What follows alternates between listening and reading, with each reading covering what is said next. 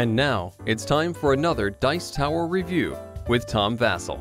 Hey everybody, I'm Tom Vasel. Welcome to five reviews of very different games. Um, these games, well, they're just so very different, and I couldn't think of any good way to clump them together. So all shapes and sizes, just some short overviews of these games. Here we go.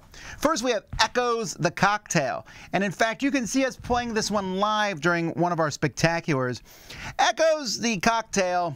I, would give this actually a 4 out of 10, unfortunately. It's an audio mystery game in which you are listening. You scan these QR codes and you listen to stuff. And then you kind of put them in order. Here's a couple problems, and maybe a different echoes would be more interesting, perhaps. But th the storyline isn't very interesting. It's not compelling at all. You're not really playing any kind of game. I don't even feel like I'm along for the experiment.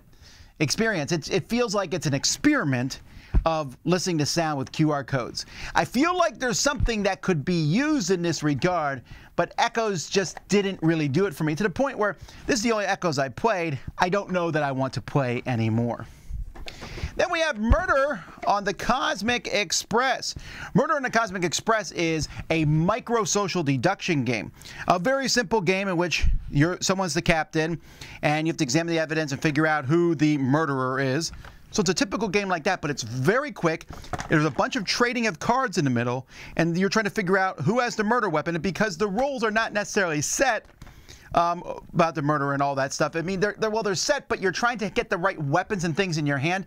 There's some interesting things. It's really fast. It's just a few cards, and I like it. I'd give this one a 7 out of 10, just a small little uh, social deduction style game. Then we have a much bigger game here, Cuphead Fast Rolling Dice Game. There's another one you saw us play live. I would give this one a 6 out of 10. There's a lot of aspects of this that I like. I like the Cuphead theme. I like rolling dice really fast.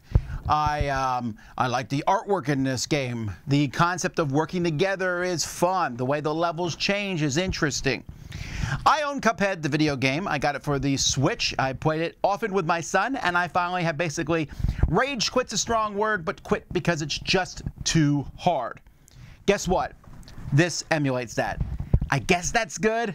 I don't want to play a game where I'm playing this on the easiest level and still get destroyed. I'm not interested in that. What's the fun in that for me? So I understand the game, it's good. I wish it was easier. I wish there was something about it. But if you like Cuphead, hey, this is the game for you. Then, you know, speaking of games based on video games, we have Animal Crossing, Monopoly. This is just trash. Two out of ten. I mean, ugh. I really dislike this game because stuff like this is out there. I mean, I just reviewed a Mario Monopoly, which was fine, or Mario Life, I'm sorry. That was fine. This game here is terrible. It has terrible components. You just roll dice, move around the board, and pick up tokens. The tokens are worth random amounts of money, and it's ah, everything about this is trash. I'm not even talking about it. All right, Shovel Knight. Shovel Knight Dungeon Duels. So this is for people who like Shovel Knight. Um, the idea of this game is interesting because it has a scrolling board. It has some interesting uh, different characters. I actually played this not knowing anything about Shovel Knight. I went and got the game Shovel Knight, which feels very, very Mega Man ish. But anyway, in this, you have the scrolling board. You're all taking different Shovel Knights, going through, using special abilities, attacking each other. It's fine. There's this constant you know, boom, you knock someone else off the board, they got to come back on again. It's it's so fast, it's very lucky, and it's it's okay. It's a 6 out of 10. There's some aspects of this that I like, but I don't know that I would keep it. It feels like a re this game feels way bigger than it has any necessity of being. It just would need a few standees, a scrolling board, and I think it would have been fine. All these miniatures and everything, and the miniatures don't even look that different. The enemies, they do a few different things, but they kind of move around, and now having played the video game, this doesn't particularly feel like that. It has the side scrolling coming in, that's okay. I just didn't find it to be, again, particularly interesting. The rules aren't very good. All in all, this is what I would call an okay game, but not one that I would get. So there you go. Five games, five different ones.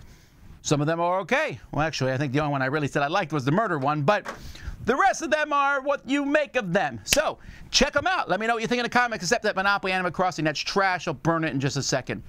Until next time, I'm Tom Vasel, and you've been watching The Dice Tower.